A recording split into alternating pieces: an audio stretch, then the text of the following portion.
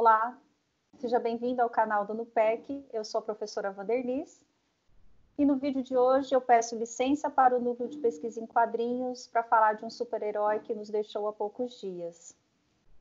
Na verdade, ele não faz parte de nenhum universo muito famoso como o da Marvel ou da DC, mas é um herói que contribuiu muito com suas aventuras no mundo real, assumindo o codinome de Batman.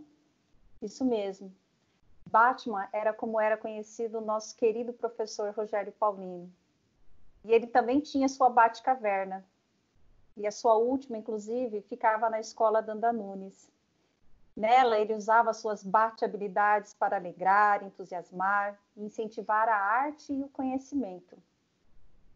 Se nós formos comparar o herói Batman dos quadrinhos ao nosso querido professor Batman, a gente percebe que o traço em comum entre eles era a forma engenhosa de resolver, de agir e de criar estratégias para lá de inteligentes para resolver qualquer problema.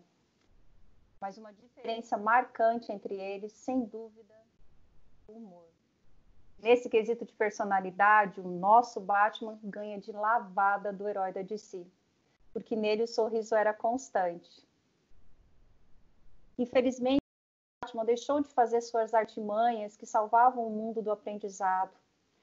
Tarefa que ele fazia muito bem, incentivando a descoberta, a curiosidade e fazendo muita arte por onde passava. Assim como Batman, Rogério também usava sua maior habilidade, que era a criatividade.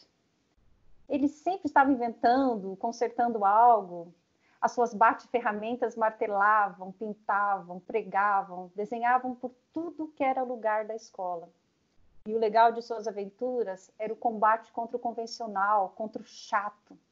E para isso ele usava suas bate-manobras e dava um jeitinho em tudo.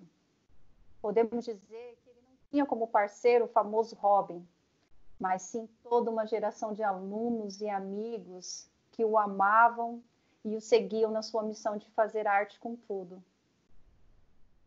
Que a marca do Batman também seja símbolo de persistência, de confiança, de esperança e principalmente de amor. Que esse era o poder mais marcante do nosso querido herói. Obrigada, Batman. E como você sempre dizia, relaxa, bebê.